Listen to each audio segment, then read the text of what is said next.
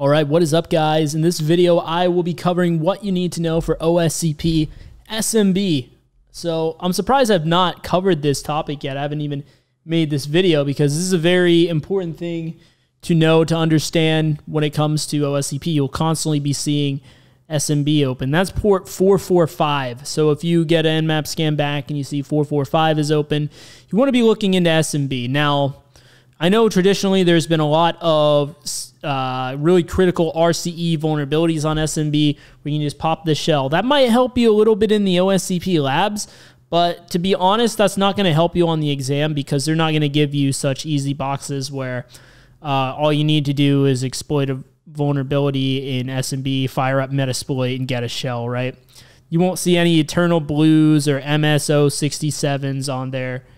So, really, when you see SMB, uh, what you're going to need to know for OSCP in that case is you're going to need to know how to enumerate it, how to see what shares are available on the uh, server, right? And see what uh, level of access you have to any of those shares. Do you have read access to anything?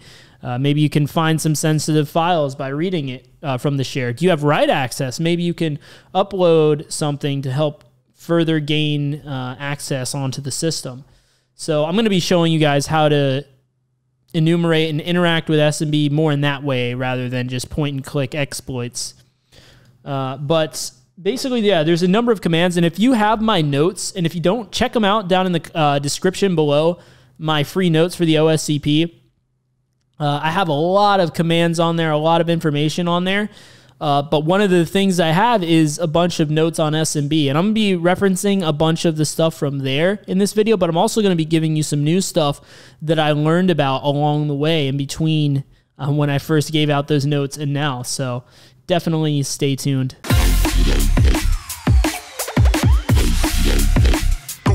So yeah, let's just get right into it. I have a box uh, here, one of the hack the box boxes and uh, the first thing, like say we ran the Nmap scan and we saw 445 is open, the very first thing that I'm going to want to know is what shares, if any, are available. So SMB client is a really good command line utility to use for that. Dash L would be to list the shares.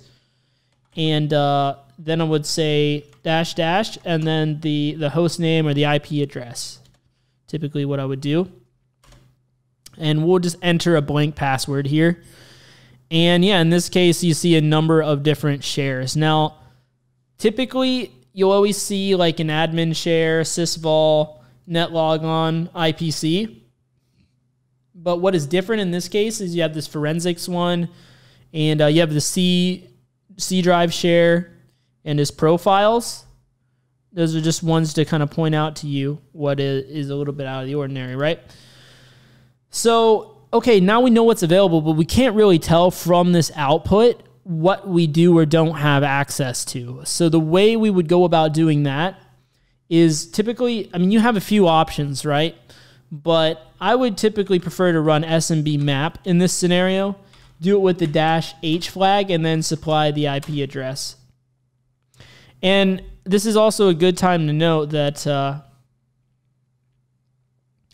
so typically what that would do is list the shares and the permissions, right? But yeah, what I was going to say is this is a good time to note that if you do have any credentials, any SMB credentials, you could put them in here. It, by not supplying anything, I'm, I'm saying basically an anonymous access. What do I have uh, anonymous access to? And sometimes you will find you have anonymous access that you can gain some pretty lucrative information, maybe some credentials to further exploit the system, whatever the case may be. So definitely something to check for. Uh, in this case, it didn't list anything interestingly en- enough. It could just be that uh, we don't have any permissions on these, but we can, you know, definitely a good idea to try multiple tools, right? If there was a certain share we wanted to see, for example, like the C share, we could specify that here and run something like this to see, okay, I just want to know with this share what the case is, you know? So those are some different ways that we can use things as well.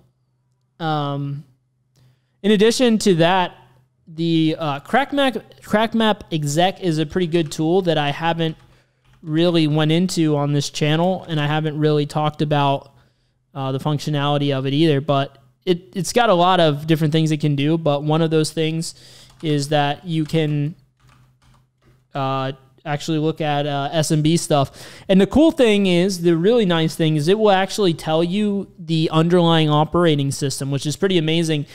Uh, back in the day, the only tool I could do that with was, um, and this was two years ago, was enum4linux, and it was old then. At this point, it is completely deprecated. Like I, I would not advise using enum4linux. I know they were really offensive security was really saying, hey, use this tool for SMB. I don't know if they're still pushing that one. I mean, I hope not. But yeah, definitely don't use that tool. It's super outdated. Use SMB map, SMB client, or even crack map exec in place of that. Uh, but yeah, one of the things that that tool would do is it would predict the uh, operating system. And so now, or you could use the Metasploit module, but right, you only have that once per uh, per exam, right? So only one box. So wouldn't want to use that. Now this is a way to basically use it without having to do that. Um, I'll show you here. So we can do is say SMB, give it the IP address, and then say uh, dash dash shares and it will uh, try to look at your permissions on the different shares, right? So user session deleted. Um, I'm not exactly sure what that means, to be honest with you. Uh, let me know down in the comments section below if you've seen that one. I think what is going on here is we don't have access to it anymore or to any of these in particular, right? But yeah, with SMB client, we can see uh, we can we can actually see the shares from that one. But yeah, it did predict uh, Windows 10 and this build here. So uh, pretty pretty nice for that uh, functionality. Most definitely. And SMB v1 is disabled is another thing you can see from here. And it, it does implement SMB signing. But uh, let's see here. I mean, if you do go the Metasploit route, what you could do is use the auxiliary scanner SMB SMB version. So just imagine that I was in. You know what? I'll, I'll fire it up just to show you guys, in case you want to know the Metasploit way. It's like a good to know type of thing, right?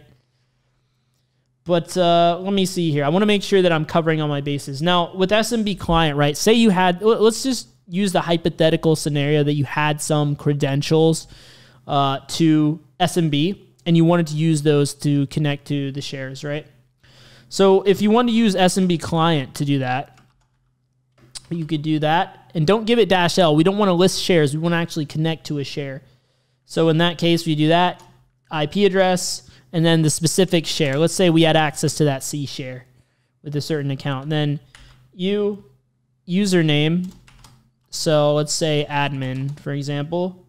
And then percent sign password. Let's say password is password, right? So we do that. This isn't valid credentials in this case, so it's not going to work. It's going to say access denied. But if it was valid, then we would be able to connect to that C uh, C share and look through it, maybe even write to it if we had access to do that. Now, I wish the SMB map command was coming back with stuff because normally it would list the stuff, it would list the shares off like this, except there'd be an extra column over here where it would tell you uh, read, write, or you know you know different things like that right? It would tell you what level of access that you have to each share. So that's what's really useful about that. Um, but yeah you could also use smb map to connect to a share as well and if you want to if you want to do that you do dash r and then the share name and then you would do dash h ip address uh, but that would that would basically just list all the all the files there. In this case, we don't have any uh, any access to do that, so it doesn't come back with anything. Uh, and then you can actually download files from a share as well using SMB map. And so if you you know once again going back to that example, if you do this, uh, you know give it the share, give it the IP address, H, I believe, is for host. So host IP address.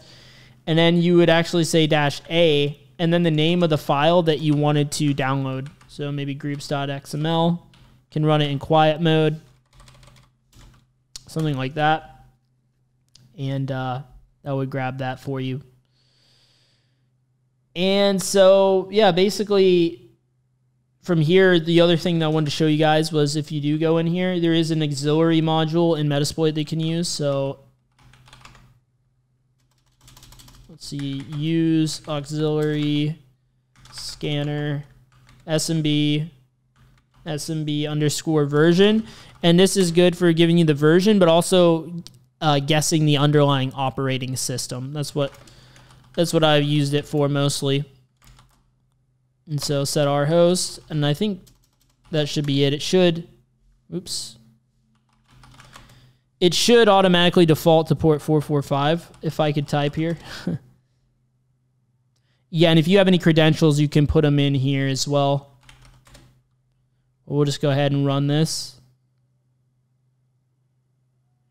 And, uh, oh, okay, wow, yeah, in this case, it wasn't able to identify the host, but in some cases, it will be able to identify it. So, yeah, it looks like CrackMap, CrackMapExec might have been better to identify the host in this case. I'm not sure how accurate its prediction was, but uh, it at least had some output there. But yeah, this is pretty much the only stuff that uh, you really need to know for OSCP, I would say. I'm trying to make sure I didn't miss anything really big, but uh, yeah, I would say with those, I mean, of course, you also have some nmap scripts, but typically I haven't really used those too many times. But yeah, just know that you have some nmap scripts that you could uh, look into as well. Um, when it comes to enumerating this stuff. But for the most part, I would say what you need to know for OSCP know how to use SMB client, know how to use SMB map, and uh, maybe for good measure, some uh, CrackMapExec as well. Pretty useful tool that I've started using myself. So, yeah, I hope this video was of help to you. I know it wasn't the cleanest example because of this box in particular and the kind of limited information we're getting from the limited access we had to the actual SMB shares on this box.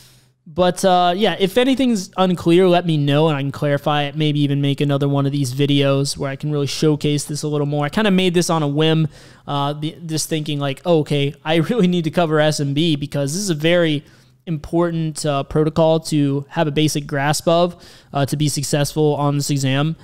And uh, just good in general to know as uh, someone in security. So, yep, uh, be sure to subscribe if you haven't to the channel already. Hit the like button, help get that message out there. If you want to see more, go ahead and click on one of the videos on screen right now.